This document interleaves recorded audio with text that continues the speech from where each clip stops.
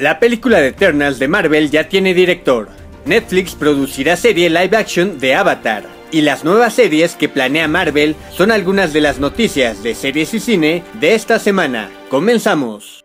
Eternals será una de las próximas películas de la fase 4 de Marvel, y es posible que sea la que ocupe la fecha de estreno de Guardianes de la Galaxia 3, ya que la producción parece estar avanzando rápidamente. Esta semana se anunció que la directora china, Chloe Zhao, estará a cargo del proyecto. La franquicia de Eternals trata sobre una raza de humanos que fueron modificados genéticamente hace miles de años por los celestiales para obtener superpoderes y ser los defensores de la Tierra. El padre de Thanos, Alars, a quien se menciona en Infinity War, es parte de los Eternals. Se dice que la historia se centrará en Cersei, una Eternal que puede transmutar la materia y manipular la energía cósmica para ser casi inmortal. Si es que esta cinta ocupa el lugar de Guardianes 3, podría estrenarse en mayo del 2020.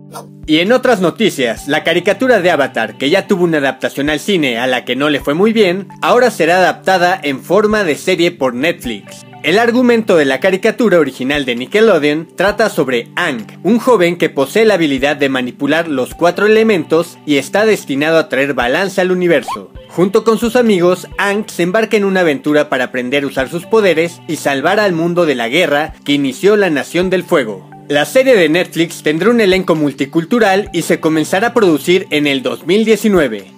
Y regresando a Marvel, ellos también han anunciado nuevas series para el próximo servicio de streaming de Disney, que podrían hacerte decir... ¡Cállese y tome mi dinero! Y es que estas series tendrán un presupuesto casi cinematográfico al estilo de las grandes series de HBO, como Juego de Tronos y se centrarán en algunos personajes de las películas que no han tenido su propia película en solitario, pero lo mejor de todo es que serán protagonizadas por los mismos actores de las películas. En estos momentos se habla sobre una serie de Loki y otra sobre Scarlet Witch, y de ser cierto, Tom Hiddleston y Elizabeth Olsen las protagonizarán. Pero eso no es todo, Marvel también anunció otra serie para la cadena ABC, esta de menos presupuesto, al estilo de Agents of Shield. La serie se centrará en un equipo femenino de héroes, pero usarán personajes poco conocidos de los cómics.